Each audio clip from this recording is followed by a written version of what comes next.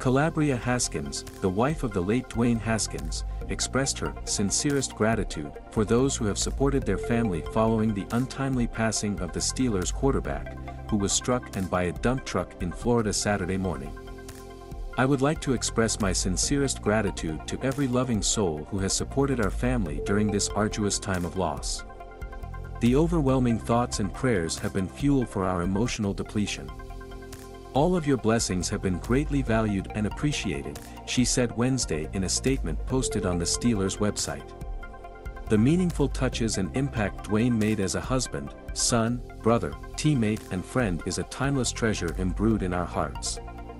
I am truly grateful to everyone who has been by our side as we mourn his untimely passing. Our family implores for your continued prayers, yet continued respectful privacy as we painfully grieve.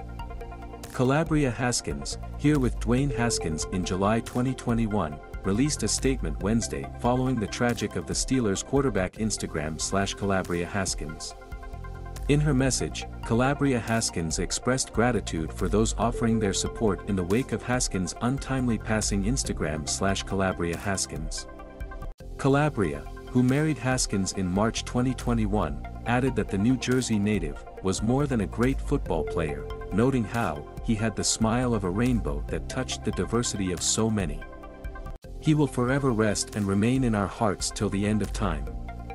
His eternal love will always reside with us, Ohio State, Washington Commanders and Steelers Nation for eternity. Love of my life, forever, rest in the beautiful peace of heaven. Kalabrya concluded her statement by revealing that a celebration of Haskins' life will take place next Friday, April 22, in Pittsburgh. Dwayne Haskins played for the Steelers during the 2021 NFL season. Haskins had been training in South Florida with some of his Steelers teammates in the days before he was walking on I-595 West near the Fort Lauderdale airport. He was 24 years old.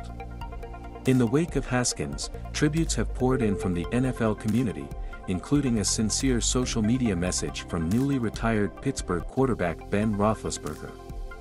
An Ohio State product, Haskins was drafted by Washington in 2019 and joined the Steelers two years later.